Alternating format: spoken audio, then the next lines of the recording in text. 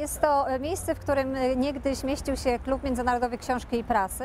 To jest taka akcja wspomnieniowa, która ma na celu e, przypomnienie miejsc sentymentalnych, miejsc kiedyś bardzo ważnych dla naszej dzielnicy, które już od dawna nie istnieją nie funkcjonują w rzeczywistości, natomiast funkcjonują bardzo mocno jeszcze w pamięciach ludzi. Powiem, że bardzo, bardzo brakuje. Kawę wypić, prasę bieżącą przeglądnąć. Wiele osób wspomina mi, ile jeszcze. Stwierdzam, że Plac Centralny stracił. Stracił bardzo dużo przez to. Z Nowochódzkim Empikiem zaprzyjaźniłem się pod koniec lat 60., kiedy w szkole podstawowej e, robiłem albumy e, z wyścigu pokoju, takie kroniki wyścigu pokoju. I Empik Nowochódzki był jedynym miejscem, w którym można było kupić e, e, numery gazet Neues Deutschland, Rude Prawo. No, Trybuna Ludu była dostępna wszędzie. Bardzo miły personel, pamiętam z tego okresu, bo e, nie zawsze mogłem między lekcjami czy po lekcjach podjechać do Empiku, więc prosiłem te panie, żeby mi zostawiały każdy numer z okresu wyścigu pokoju. W Empiku pracowałam 28 lat. Parzyłam tam kawkę, bardzo dobrą. Przychodziła młodzież, starsi, wernisaże były, czytelnia, nauki języków, imprezy różnego rodzaju. Przychodziło się, czytało się prasę, piło się kawę dobrą. Teraz tu nie ma nic takiego. W Hucie w ogóle nie wiem, czy jest potrzebna jakaś kultura. Tu była kiedyś księgarnia bardzo dobra, tu był Empik, a teraz co? Nic.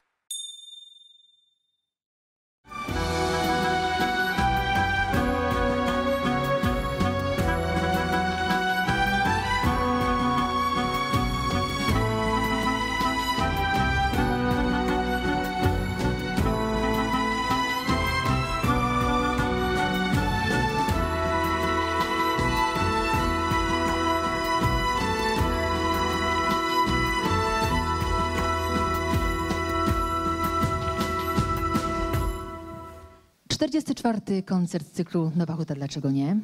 No ale dziś przede wszystkim, i obiecałam, że miejsca ustąpię, świętujemy dziesięciolecie Teatru Łaźnia Nowa.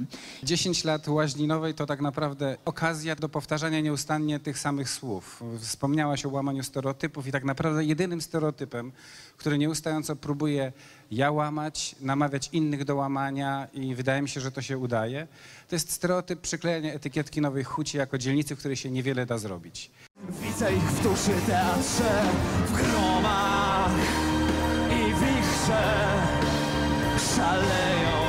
gasną w gromach i wichrze W mroku mdlejące i cichsze Już ledwo, ledwo widnieją. Znów stają, wracają ogromne Olbrzymie, żyjące, przytomne.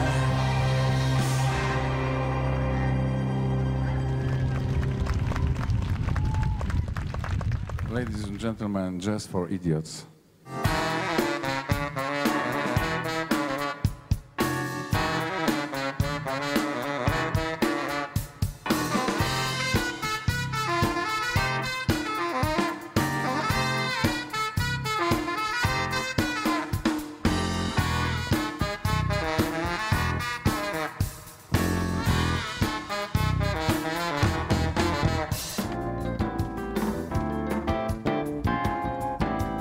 Dniu nieistniejącym święta kobiet, a jednak właśnie ten dzień się pamięta.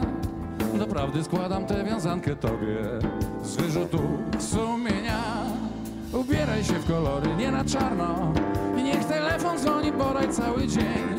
I nie trać wiary, niech na twoją przyszłość całą nie padnie nigdy cień.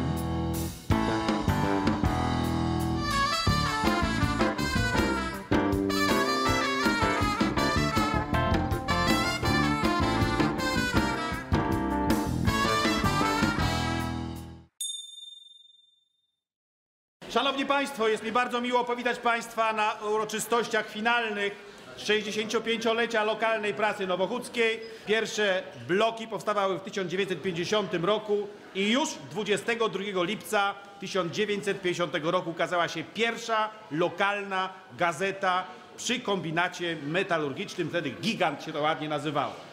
Nowochódzka Gazeta, pierwsza jaka ukazała się na terenie tej dzielnicy, to był Budujemy Socjalizm. Ona była wydawana do kwietnia 1957 roku, później było kilka miesięcy przerwy i znów na 22 lipca w roku 57 ukazał się pierwszy numer Głosu Nowej Huty. E, Ta gazeta była wydawana do 91 roku, e, a od 25 lat kieruje już głosem Tygodnikiem Nowochódzkim. Ta praca to była moja pasja. Ja, ja nigdy nie spieszyłem się na urlop czy na wakacje. Ja raczej spieszyłem się z powrotem do redakcji. Przez tyle lat fotografowałem e, różnych ludzi, zawodników, a, a teraz sam jestem eksponatem z Nowej Huty. Te zdjęcia, które są na tych wystawach, to nie są zdjęcia, e, nie są zdjęcia robione pod jakimś kątem, na jakieś zamówienie. Starałem się robić tak, żeby, żeby nie wymagało podpisu, żeby ono samo ilustrowało życie, życie jak się toczy. Chyba, no bo całą masę zdjęć robiłem, żeby było powiedziane, że sfotografować, jak wbijają kamień węgielny pod budowę pomnika Lenina, prawda? Y, Czy hasła, że partia z narodem, naród z partią i to już Wiesławie my z wami. To były rzeczy, które człowiek robił na zamówienie.